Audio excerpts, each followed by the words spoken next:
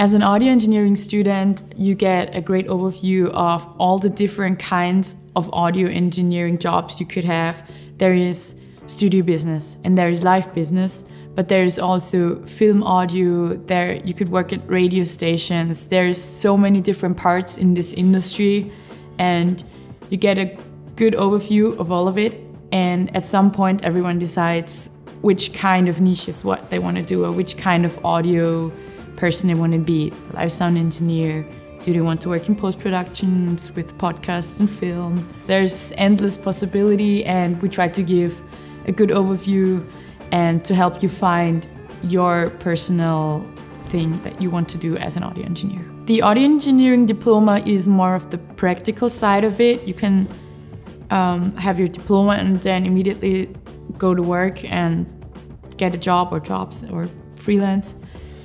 Then the bachelor is more of the academic side to it.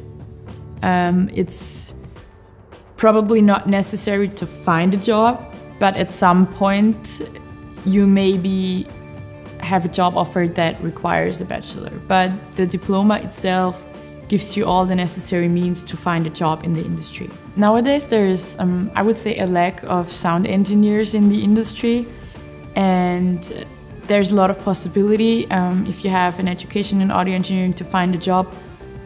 The first thing or the easiest thing is probably live industry, live music industry.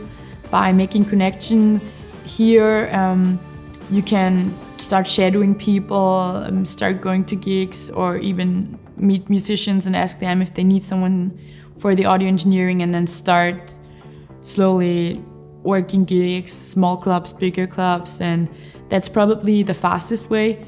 Then you also have the possibility to work in studios. Um, that's a, a, bit more tricky because the studio scene is a little smaller than the live engineering scene, but by being here, meeting um, teachers and maybe students who are a little further in the in the in the diploma, make connections and just just ask other people if you can shadow them and come with them and help them. And that way you will meet so many people that after some time the offers will just start flowing in. If you think about um, enrolling here i would advise you to be prepared to put all the effort in you can and have a good time management and put a lot of energy and a lot of work in this because no one will take you by the hand and tell you exactly what to do.